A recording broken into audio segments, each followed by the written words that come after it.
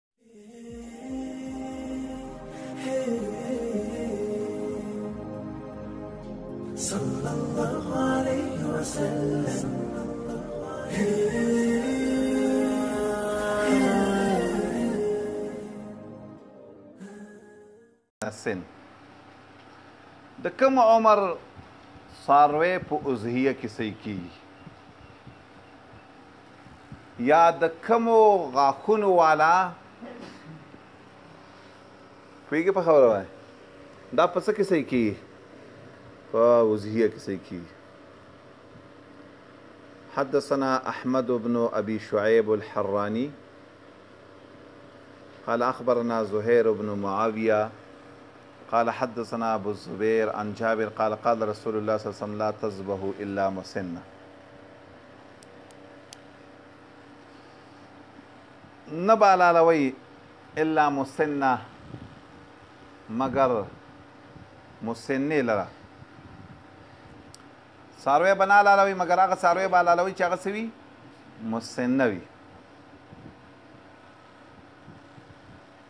مشهور دا ده چې پوخانو کې مسنه وي هغه ته وي پنځه کالو تر رسیدلی وي او په شپږم کال کې داخل وي هغه ته مسنه وي په غوګانو بزو په غواګانو کې هغه ته وي چې دوه کالې پوره شوي وي او په شپږم کال کې داخله شوي دوه او هم یو کال دوه کال پوره شوي او په دریم کال کې داخله شوي هغه ته سوي او په بزو کې هغه ته وي چې یو کال پوره شوی وي او په دویم کال کې شي شي او په ګړو کې مسنا هم دقه توي خو په ګړو کې مسنا په منګ نه د لازم وي لکه روسته د حدیث نه معلومي په ګړو کې مسنا نشته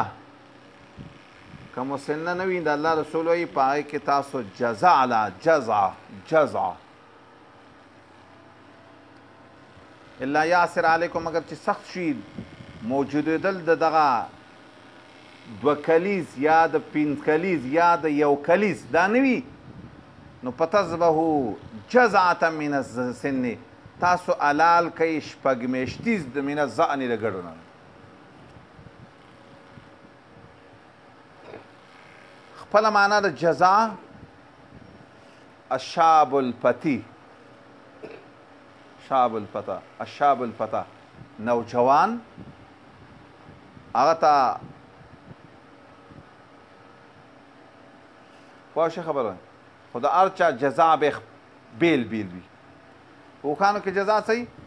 هغه چې په پنځم کال کې داخل شوی هغه هغه ته جزا وي جزا په واغانو کې او په ګړو او په بزو کې چې په دویم کال کې داخل شوی پوره شوی نه په دویم کال کې څه شوی او ځنې اهل علم رسی ویلي چې په دریم کال کې داخل شي هغه ته جزا وي په غواګانو په بزو کې او مشهور دا ده چې ځان هغه ته وي چې ځان په ګړو کې جزع مشهور دا هغه ته وي چې شپږ میاشتې وي په ګړو کې جزع هغه ته وي په ګړو کې چې څو میاشتې شي شپږ میاشتې دا مشهور قول دی یو مسله پکې رسېده چې موږ به د څاروي معلومات چې کوو نو دا به په غاښونو باندې کوو او کو په کلونو باندې به کوو ما تاسو ته دا مخکې قول چې ذکر کو مشهوره دا ده چې دا په کلونو باندې خو دا خبره به داسې ووایو چې هم د حدیثو نه خلاف ده هم د لغت او د اقوالو نه خلاف ده هم د صحابه او د اقوال او هم د عرف او د عادت نه خلاف ده یو زمنګ او تاسو خبرې دي زمنګ او تاسو خبرې ځاله خبره خو په عرف او عادت کې چې څوک ګړې بزې ساتي او یا څوک ډیر مال ساتي کنه هغه دا خبر نه کوي چې دې څاروي دوه کال او شو درې درې کال او شو درې هغه چې وایي څوک ته پوښتنه کوي چې څومره وخت شوی نو غاښونه ولا کولاو کې وایي دوه غخیز دی او درې غخیز دی او څلور غخیز داسې خبرې کوي هغوی د اوسه پورې به د پښتنو چې کوم دی نو چې معلومات داسې دا به نه ویل چې دوه کالې شوي دي او که څلور کالې شوي بلکې څه به ویل غاښونه به ویل او بل عجیبه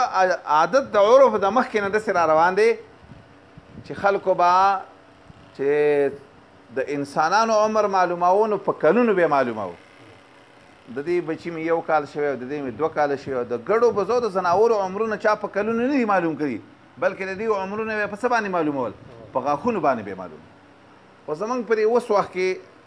دا عام حنفیان چې دي نو دی دې خبرې له لږ ډېر زور ورکوي موږ ته داسې وو یو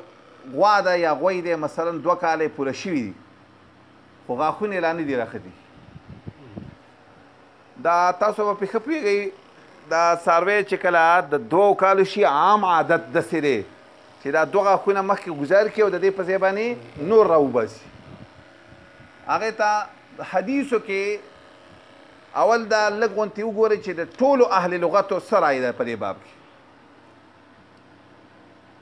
دغه حدیث یې راوړی دی دا د جابر حدیث دی مرعات والا راوړی بیا وی وی قال ابن عابدین فی رد المختار دویم جز سلور دشتمه صفحه موسن بضم المیم و کسر سینی ماخوذ من الاسنان در مختار والا وی رد المختار والا چې دا د اسنانو نه دی وهو طلوع سن فی هذه السنه فی هذه السنه لا الکبر دا راختل د غخونو ته وای نه غټېدلو ته وای دا معنی نه ده کوي بیا په خپل انداز روسته وای بیا دویم جز کې وای یو د شتمه صحابه کې وای وې دې ته مسنه ولې وای لأن عمرها يعرف بالسن واحده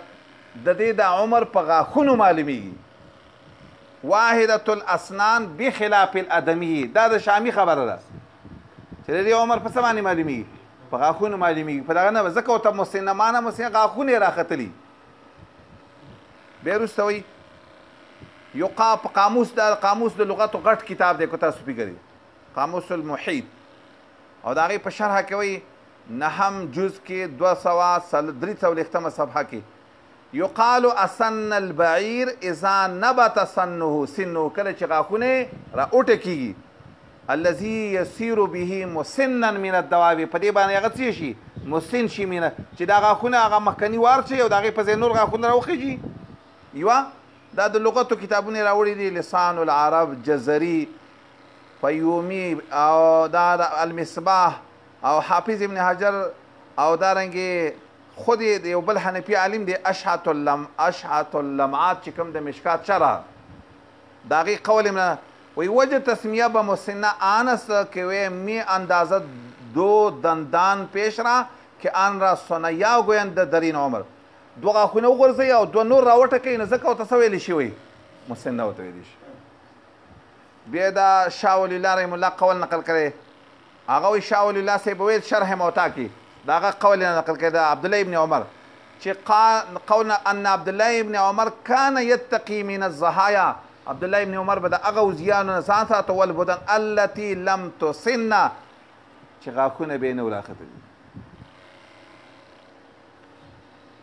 عبدالله ابن عمر به چي کوم غا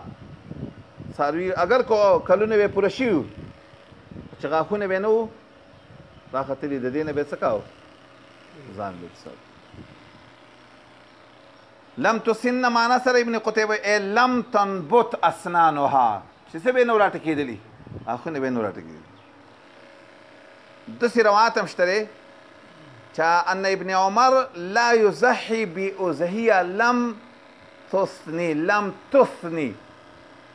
لم تثني اي لم تصر ثنيه چې دا دوه غاښونه به نه راختي ثنيه دا مخکې دوه غاښونه ثنايا چې وته وي چې دا به نه راختي نو هغه پورې به په عبد الله ابن عمر څه نه کوله وزیه به نه کوله فاذا اسنت نو فقد اسنت چې کله به دا دوه غاښونه راوخته نو به به ته مسنه ویلا د دې نه په غیر به ته نه ویلا مسنه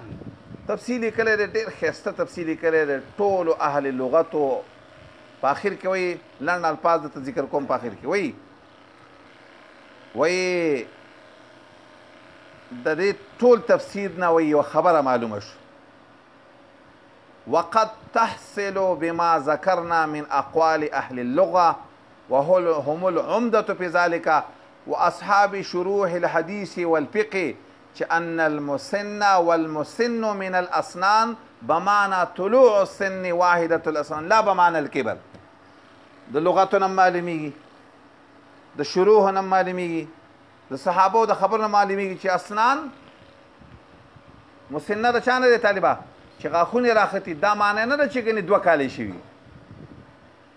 وي لأن عمر الدواب يعرف بالسن التي هي عظم نابت في فم الحيوان بخلاف الادمي فإن عمره يعرف بالسنه والحول حول د ځناور عمر معلوميږي په غاښونو او د انسان عمر په څه باندې معلوميږي په کلونو باندې بیا وایي وان المسنه والسنیه والمسنه والسنیه شیء واحد په بل حدیث کې لا تذبحو الا سنیه ټکی راغلی طالبه د مسنې په ځای څنګه ټکی راغلی او د سنیه خو د هر چا په نیز باندې معنا سره چې صنایع یې نو چې هغه ځای کې سنیه راغلی او دلته مسنه راغلی خو د دواړو یو معنا شو که نه به حلالوي مګر څه مګر سني به حلالوي سنیه بیا وایي ولا يجزئ في هذه من هذه في الأزية من هذه الأقسام إلا الذي أنبتت أصنام صرف عقب على لوي چې سره اخته وی طالبه چې داغه نور بنا لاله دا خو په هغه سارو کې چې د ګډ نه علاوه وی طالبه خو د بزو غاښونه طالبا دا په یو کال چې پوره شي به صنایا راخیږي د بزو د سي طریقې چې یو کال پوره شي به د غویانو د غواګانو اکثر د سیوی چې دوه کال پوره شي نو به صنایا راخیږي او د اوخانو د سي اکثر طریقه رسیدا چې پنځه کال پوره شي اکثر به صنایا راخیږي لکه خو که چرته پنځه کاله پوره شو نو او غاخونه نو راختی ته بنا لاله ولی ذکر رسول الله پنځ کلیز نه دی ویلی بلکې رسول الله مسنه او سنیه ویلی دا او مسنه او سنیه څه ته ویلی کی هغه ته وای چې سی راختی وی غاخونه راختی دا یو خبره اوس پکې پات شوله په ګړو بزو کې داسې مساله نه ده په هغه کې په حدیث کې جزع ټکی راغلی جزع څه ټکی راغلی د دې په تفسیر کې د علماو ډیر اختلاف دی ځنې اهل علم لکه حافظ ابن حجر وی چې زما رائے د سره چې ځان ګړو کې د جمهور اهل علم قول دا دی د جمهور اهل چې هغه ته جزا وی چې دا یو کال پوره شوی زمونږ په دې ملک کې مشهوره بل شانته ده چې څو وخت شوی شپږ میاشتې شوي نو هغې ته خلک څه وایي جزع وایي خلک وایي په ګډو باندې چې شپږ میاشتې شوي نو بیا پې وایي اوزیه کېږي دی خو د حافظ ابن حجر قول نقل کړی دی هغه وایي چې فمن الزأن ما أكمل السنة وهو قول الجمهور چې یو کال یې پوره شوی وي دا د چا قول دی طالبه؟ احنافو مشهور قول دا دی چې شپږ میاشتې شوي دي اوس تاسو خپلې خبرې ته سوچ وکړئ که د جمهورو قول ته ګورئ نو چې ګړه شپږ میاشتې ته د احنافو په نسبت باندې ورسېږي نو وضعیه پرې نه ده شوې د احنافو په نسبت باندې شوې ده خو د جمهورو په نسبت باندې او د جمهورو په نسبت باندې به کله کېږي چې کله یو کال ځان د اختلاف نه بچ کې ځان له لیوني مه جوړوئ چې په شپږ میاشتو باندې دغه کوي عام جمهور چی څومره علماء دی امام شافعی مالک احمد او فلان او ټول اهل لغت والا وای چی ځان من الجزان جزاء من الزان کله وی طالبه چی کله کالی پوره شوی دی صحیح ده اه اه معنا خو صحیح ده زمونږ په نسبانه خو پاکه معنا ده څنګه نه به حلالوي مګر هغه څاروی چې غاښونه شوي وي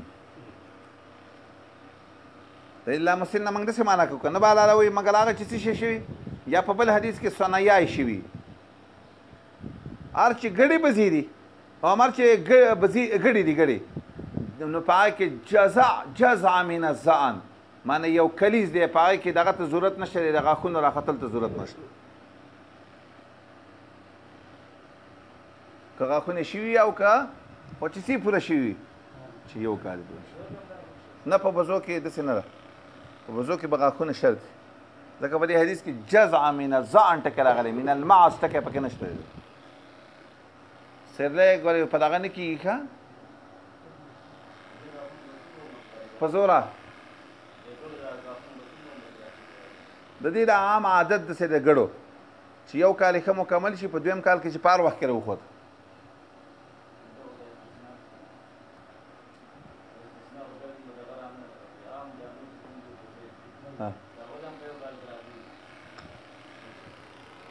مونږ د سری دلی دي چې طالب درې کال شي هم نه راختی څه وایې ته واما دا دغه نه تاسو کې دي چا چې غوا غړي بزي ساتلی هغه نه تاسو کې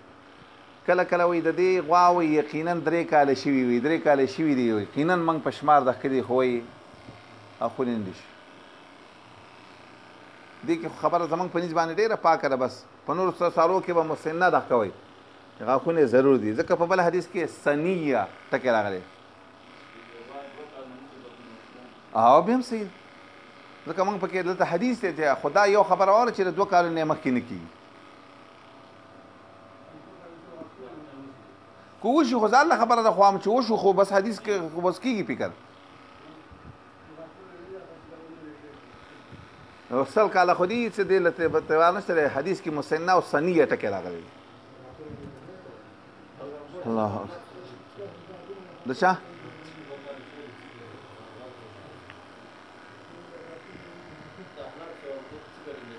هغه دلته دا تفصیل کول لګونته دي خبر توکل تاسو به فقیل ابن سید ځنې چا پکې ویلي چې شپږ میشتي چا ویلي چې اته میشتي چا ویلي چې د لس میشتي وي د وکین نقل دي چې هغه ویل چې شپږ میشتي یا دوه میشت او د ابن عربي نقل دي هغه ډیره ناشنا خبره کوي دا زما ډیره خوخه ده اس ابن عربي ویل دي دا یو ډیر لغوي دی چې د ځوانانو بچی چې دی نو دا په شپږ میاشتو کې جزا جوړیږي تر وو میاشتو او بوډاګان چې کنه دا غو بچی چې وینو ته اتو نواله تر لسو یا دا خبره ډیر ناشنا خبره او عادت کې مدسه دلک چې دسه ګړه وا او دسه ګړو دوانه نو جوانه نو د دې نه چې کم بچیو شو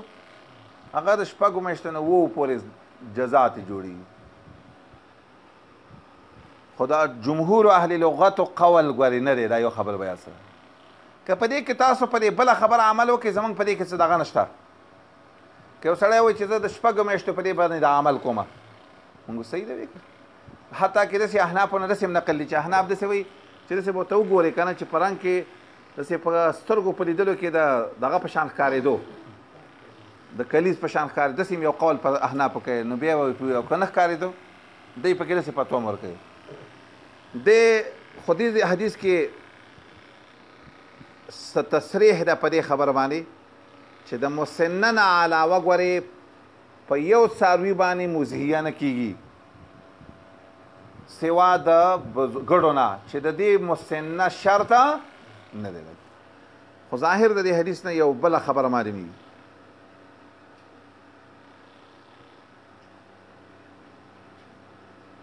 هغه ظاهر سم معلومیږي چې رسول الله پکې رسی ویری چې کدا نور نوی نو تاسو به دا دغه کوي زما په دې خبر پی کړه چې که نور نوی نو هغه پس له تاسو جزاء من الزان حال دار په نور حدیثو کې رسی دي نعمت الاضحیه من الجزاء من الزان د دې کې امام شافعي او مالک او احمد داسې وایي چې یاره موږ به جزا من الزان هغه پس لا حلالو چې مسن نه ووي خو دا دلته دا بل قول غوره دی بل قول کوم قول دا بل قول دلته داسې غوره دی چې طالبه د نورو حدیثو نه دا خبره رسول الله رسته کړې وه کومه خبره چې نعمت الاضحیتو الجزاء من الزان نو کو مسن نه وو که نه و طالبه جزا من الزان په هر صورت کې څه کېږي کېږي دلته نور حدیث شته دی د هغې په بنا باندې دا خبره کوو چې لکه دا په خپله نه به دی یو ټکی ذکر کړي انشاءالله فتذبحو جزعة من الزعن حدثنا محمد بن صدر صدران قال حدثنا عبد العلاء بن عبد العلاء قال أخبرنا محمد بن إسحاق قال حدثنا عماري بن عبد الله بن طعمة عن سعيم عن زيد بن خالد الجهني قال قسم رسول الله وسلم في اصحابه زهايا نبي عليه السلام تقسيم کړي په صحابه کې وزهياګاني فاعطاني عتودا جزاء زعو عتود خو څو جزاء ما تاسو ته مخکې ویلي په بزو کې دا مسله ده چې دا غي جزاء کله به اتفاق جوړيږي چې یو کال وشي په ګړو کې اختلاف شته خو د بزو نه دی د بزو جزا کله جوړیږي وی چې سر لم خزي او کال په تیر شي او صلاحیت ته صفات پکې وي د صفاتونو چې په دې بزو په دا کې جوړیږي چې کله چې کله څومره وخت وشي یو کال پوره شي خدا غوري په ماس کې خبره ده عتود اقه ته ویل شي او هر چې د ګډو د خبره مخکې تیر شو چې دا مال نبی له سلام راک نو فرجعت به الیه ما نبی له سلام ته دا بیرته واپس په ما ورته ویل چې انه جزا نو په قال ویل زحی به په زحیت به ما په دې باندې وزیا وکړ د دې حدیث ظاهرا نسی معلومی چې جزا من المعز هم کافی کی جزا من المعز هم کافی کی او دا د دې صحابي خصوصیت ته دا کم ځکه دین نبی له سلام د تدسی ویلي چې ضحي به دې باندې توزیه وکړه او په ضحیت به ما په دې باندې څه وکړه او دا ذکر داسې وایو د نور حدیثو نه داسې معلومي چې معاذ من ځان اوس په دې مخکني حدیث کې سره یې تیر شو چې معاذ من ځان نه صحیح کیږي معاذ من الجزاء نه صحیح کیږي معاذ من الجزاء نه صحیح کیږي دا به کله صحیح کیږي چې کله څه ته ورسیږي مسنه ته ورسیږي او دې صحابي ته نبی رسول الله اجازه ورکړي او یا به دې وایو چې د اتود معنا به وکړو په دغه سره په ګډې سره چې د اتود چې کوم دی د کال وی کنه طالبا هم پک کیږي اگر کو هغه مسنه ته نه وی رسیدل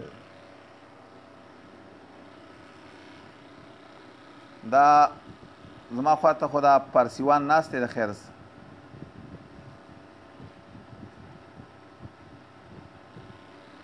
دا سړی ته پارسی یاد ده کنه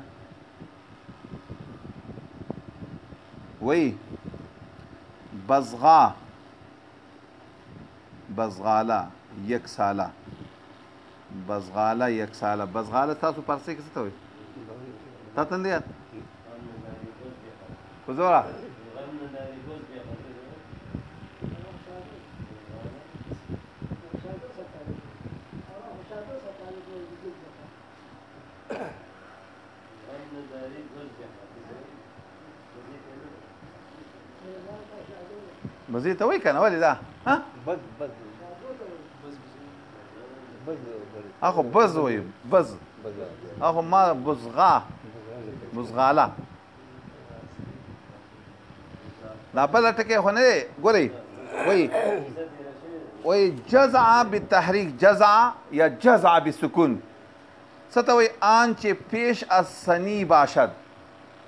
دا مخې ته غاښونه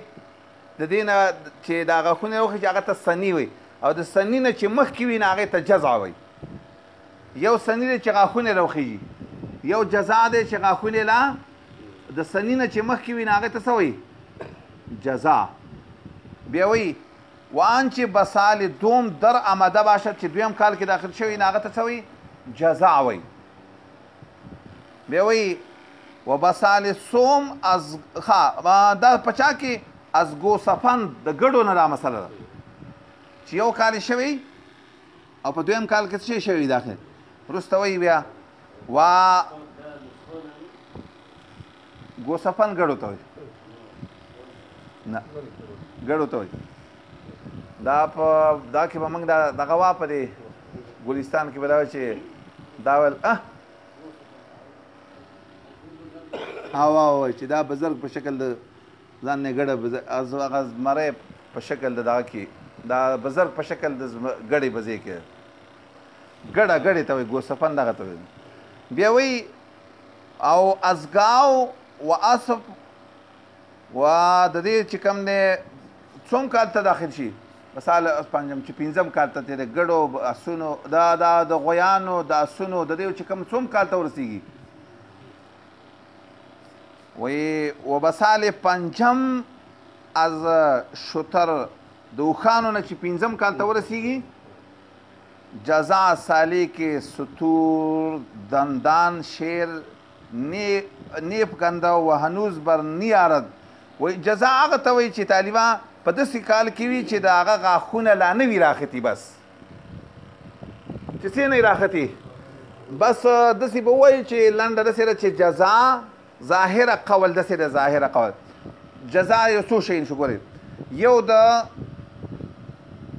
بزو جزاء هغه ته وایي چې یو کال شوی یو په دویم کال کې داخل شوی دی ته جزاء وایي خو لا غاښونه نه راختی چې غاښونه روخي جی بیا ته په بزو کې څه وته وایي سنیه او یا ته څه وایي مسنه پوخا غواګانو کې جزاء هغه ته وایي چې دوه کاله یې پوره شوي وي او په دریم کال کې خو لا غاښونه ګورې نه وي راختي په اوښانو کې پنځه کاله پوره شوي وي خو لا غاښونه نه وي راخ په دې وخت کې به دې ته څه ویل کېږي دا بس نوی نوجوان دا یې معنا شو او چې کله په دې حالاتو کې کله غاښونه وختل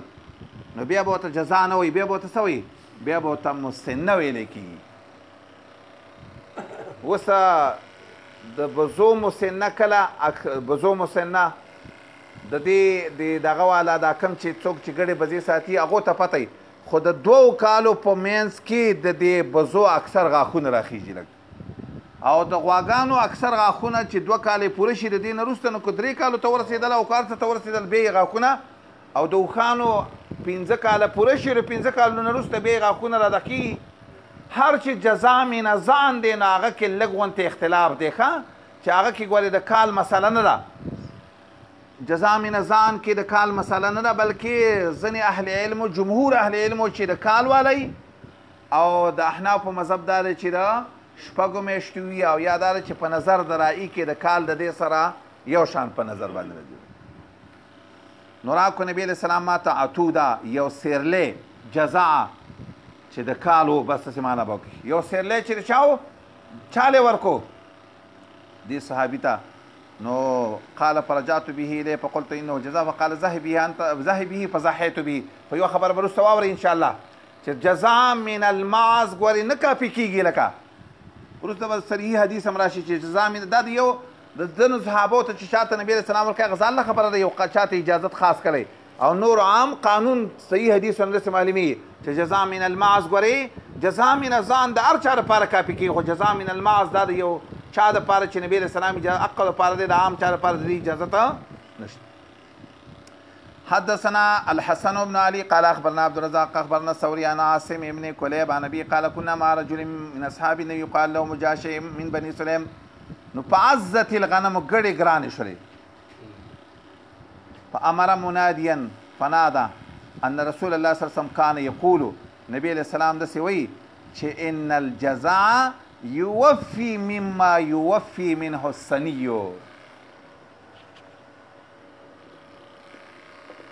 چې ان الجزاء یوفي کلیز د ګډونه یا شپږ میاشتیز د ګډونه بنا بر اختلاف یوفي دا پوره کیږي د هغه سنه چې یوفي منه السنیو چې کم سنی پوره کیږي په ګډو کې د څه مسله شو دې حدیث تم فکر پراغه په ګړو کې ګړې کمې وې دقه لکه هغه سنی پکې نه پوره کېدل په ګړو کې سنی نه پیدا کېدل چې نه پیدا کېدل نبی له سلام دا اعلان وکړو چې په ګړو کې سنی په زیبانه جزاء هم قائم کی خو ګوره دا صرف په ګړو کې مسله راغوري په دغو کې مسله نه ده ښه په بزو کې هم نه ده غواګانو کې هم نه ده قال ابو داود وی دا مجاشه چې دی روایت کې راغلی دی مجاشه ابن مسعود د بیګه خبره دا راوی چې کم دی خپل پلار نوم چې کم دی مسعود دی او من بني سلیم قبیله یو ځکه پلار نوم په مخ روایت کې نه وو نو د پلار نوم یې ول ذکر حدثنا مسدد قال حدثنا ابو الاحوص قال حدثنا منصور عن شعبي عن البراء قال خطبنا رسول الله صلی الله علیه وسلم يوم النهر د اختر پورز باندې بار فقال من صلى صلاتنا څوک چې زمنګ پشان ته منځي کړي ونسکن سکنا قرباني کړي زمنګ د قرباني پشان فقد اصحاب النسك عجیب غونته کار دی یاره وسم حنفیان نه دی وسم حن دا ما ته وسره یو کس را بلور دی ول زما په کوستان کې ډیوټي ده ول چې د اختر ورشي ویل د بلا زامنو د اختر مونږ نه کوي ویل سار وختي است قرباني نه وکړي چې په مونږ باندې اختر مونږ نشته دي واده نور وس وس وس هم دسې کوي وی سار مانځه پسې ته قرباني نه شروع کړي ځکه دا په فقه کې لیکلي دي او ته دا قصې کړه چې فقه نه فقه دا لیکلي چې په چا باندې د اختر مونږ نه نو هغه سبا چې قرطره وخی سار مانځه خلاصه کې چې سبا قرطره وخی جامې سره قرباني نه کوي او حال دا چې په حدیثو کې څنګه ټکی د طالب قرباني کول دي خو کله چې کله منځ شي دا هدايه کې یو ناشنا قصه را تاسو ته پته وي او نه هدايه کې وسره داسې غپ هم لګولې غپ ذکر چې د رسول الله د حدیثونو خلاف دي وای چې چا غوخه تزله شوی یو دا سوچي چې د وخت وخت لاله غوخه تیار شي ها نو بازاري سره د خپل څاروي غره باندې ته ولېږي چې هلته لا لا لا لکه د وخته چې سبا راوخته چې دلته زه مونځ کوم او تا شی تیار کړی او را ډېر رسولی دی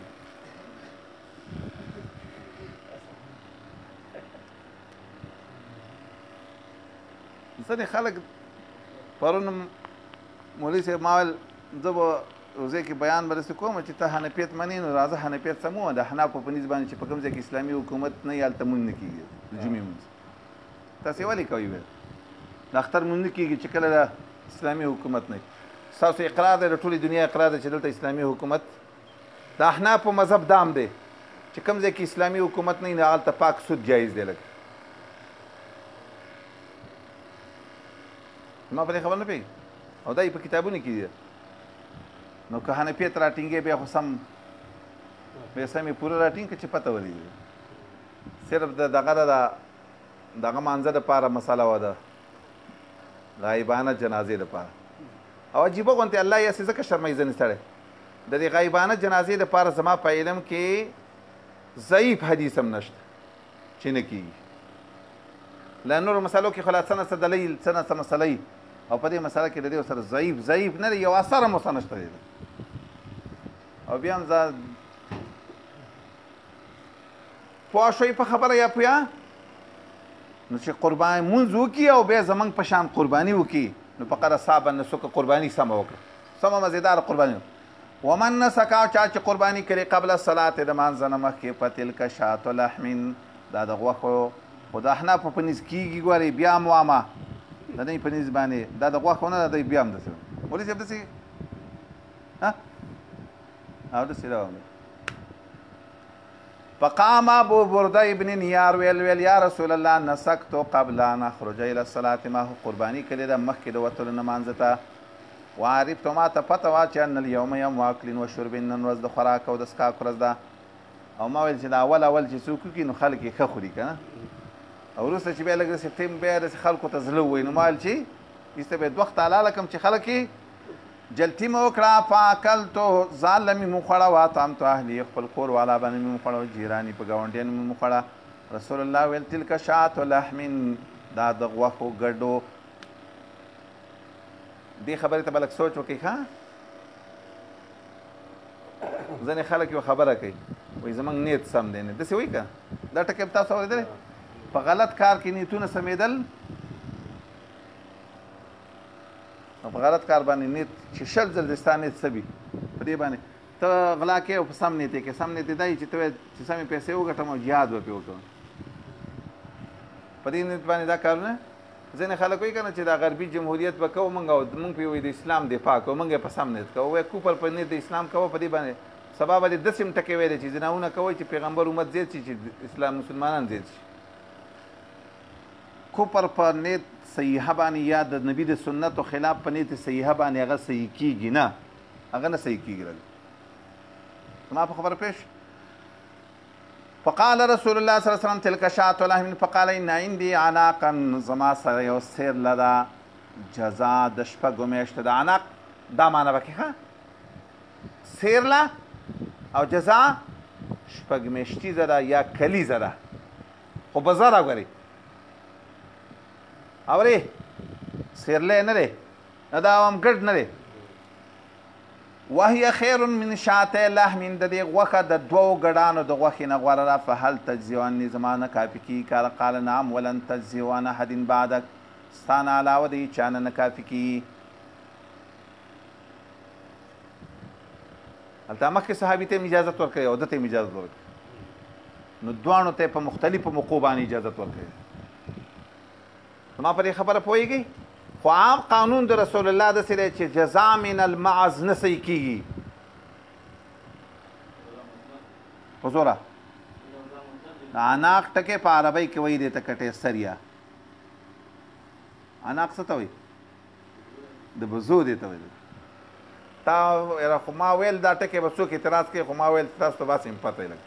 لاندې دې کتاب کتلی وینا ها څنګه زولا عناق وای د قطع عناق څه ته وای طالبہ اے هغه حدیث کې راځي کنه لو لو يعطون عناقا عناق د چا دی ته وي طالبه بزو خو چې بزو کې کوم صفت وي دا ټکه پکې ده چې جزاء وي او الته صریحي حدیث دی په مخ کې چې جزاء خو من ځان دار چار پار کا پکی حدثنا مسدد قال حدثنا خالد عن مطرف عن عامر عن البراء بن قال زح خالي لي خال لي زما یو ماما او هغه وزیا وکړه چې ابو برده نومو مخکې د مانځنه رسول الله تعالی شاتو کا شاتو لحم فقال يا رسول الله ان عندي داجن جزاء من المعز لګودي زما خیر له سم دیوانه ولده ټکه سبق نه ګوري خیر الله دا جن هغه ته وایي چې کور کې سریږي ښا کورنۍ ورغومي او ته خلک وي زمونږ کله په کور کې ورغومي ده د شپږو میاشتو د شپږو میاشتو وی او کو یا د کال وی خو ما راته مخکې ویلي چې د جمهور دغه دا دی چې جزا په بزو کې چې د کال وي خو لا غاښونه نه وي راغلي فقال نبی علیہ السلام تو فرمایل اذبحها ولا تصله لغیرک زمونږ لند اخیری خبر دی چې تر ورسېده طالبان په عامو څاروو کې حکم دا دی چې غاښونه یې دوه راختې وي مخې ته نو وزیه پکېږي. په بزو کې هم دا حکم دی، په غواګانو کې هم دا حکم دی، په اوښانو کې هم دا حکم دی. یوه په ګړو کې موږ ته راجح قول دا ښکارېږي چې کال یې شوی وي نو که غاښونه نه وي راختې وزیه پې کېږي بس.